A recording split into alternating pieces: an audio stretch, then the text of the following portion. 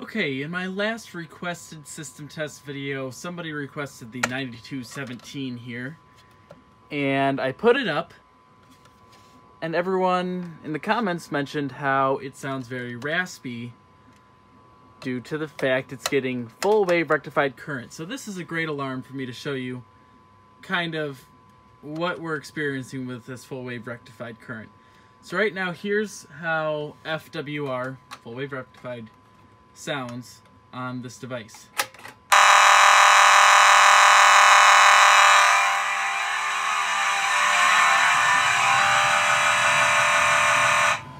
Okay. Now what we're going to do is we're going to add this DC to DC filter that you can check out in my True Alert video. I used to be mounted up here when I smart sync True Alerts. And I'm going to put this on and we're going to see if it sounds cleaner with the filtered DC current. Let's have a look. Alright, I just put on the DC to DC filter and managed to also scare myself because I forgot to reset the pull station and I hit reset and started doing my work and that's fun. So here, we're going to realarm over here.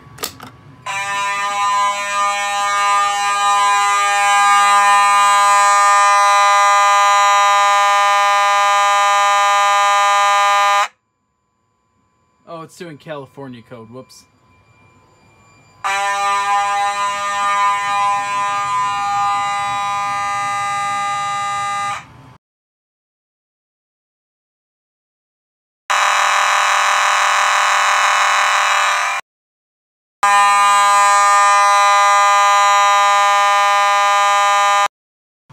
So regardless, you can probably hear just from the video that that sounds significantly better than it originally sounded, much less raspy. So you guys, if you're doing simplex stuff, um, just on a little hobby system like this, go ahead and check these things out. They're like a few bucks on Amazon, which is super cool.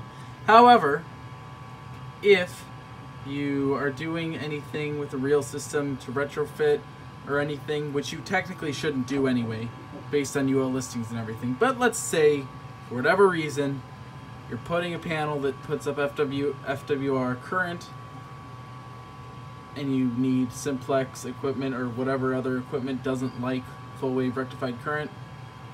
What you should do is rather than hooking these up because you can't, you lose your supervision when you do this. You should hook it up to a uh, power supply that puts out filtered DC current.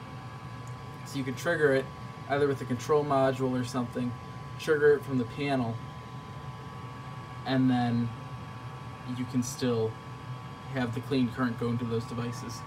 So this was just a little video. The next um, requested system test video should be out next week, or I'm sorry, on Friday.